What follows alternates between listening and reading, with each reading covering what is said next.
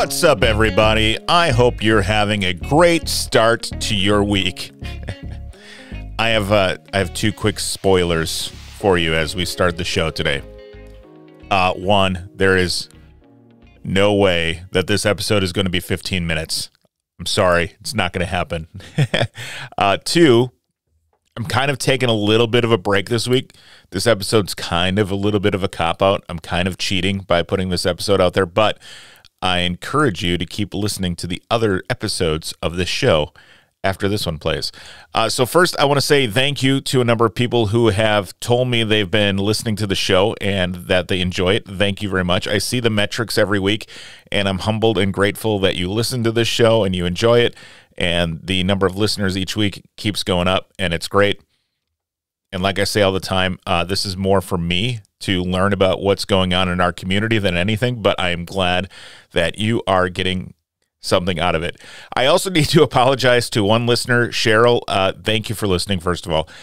Last week, I joked that I was going to teach a class on sourdough bread baking and boxed wine drinking at the West Bend Chambers Home Health or Home Hobbies and Wellness Show. I was just joking about some of that, and I'm going to use uh, finger quotes. I was the, the hobbies portion of it um, that I picked up during the beginning of the pandemic. So I'm glad I was convincing, but I was only having fun. I admittedly had to quit bread baking because all the carbs were adding up fast, and I probably should quit the wine because those carbs were also adding up fast. Um, but here we are. So uh, this week, as I teased, I'm taking a little uh, bit of a break from the interviews, but there are a few good reasons why. First, I recently moved into a new office. It's in the same building. Uh, like we didn't, Epic didn't move, but I am now in a really nice office, and it's just a different office in the same building, and it has a really sweet side office that I'm going to turn into a recording studio. So it's like an office and a little room off the side that was kind of like storage, but I cleaned it out. I'm painting it. I'm putting up acoustic panels, and it's going to be a really cool recording studio when all is said and done. My next step is to convince Shanna to let me buy some more podcast gear. We'll see how that goes. I'm cautiously optimistic. I'm not really optimistic at all. I, and it's not really her fault because I know better. Um, anyway, it's been a lot of fun. It's not quite there yet. Uh, I finished building the acoustic panels over the weekend. I've got some soundproof curtains coming in this week, so it should all be ready to go for interviews around Wednesday.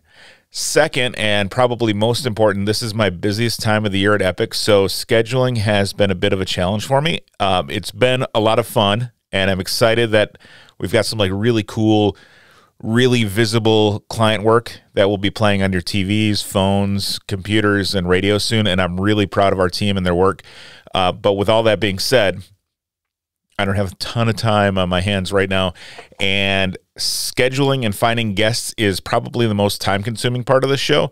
Not actually the recording or the editing, it's really the uh, finding time in the day to get somebody. Uh, find find the person, find their contact information, reach out to them, coordinate a time to record, and then you know to get them to come in. Um, that finding that time is the hardest part. So um, I could really use your suggestions on interesting people, fun events, impactful businesses, charity and community organizations, or anything else going on in or around Washington County that you find to be positive, um, that will get people thinking, that will uh, be a break from some of the nonsense that we see on social media.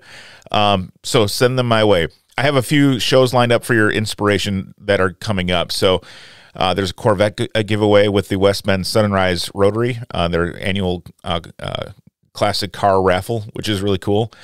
Um, or a cool car raffle, I guess. I don't know if it's really classic. Um, there's a new gym opening in West Bend. I'll be interviewing the owner of that. Uh, we've got a feature coming up on the 125th anniversary celebration for the village of Kewaskum. And it's two years later because of COVID, but it's going to be really cool. Uh, so we'll be speaking with some people about that coming up. But again, I could really use your help finding my next guests. So please send people my way.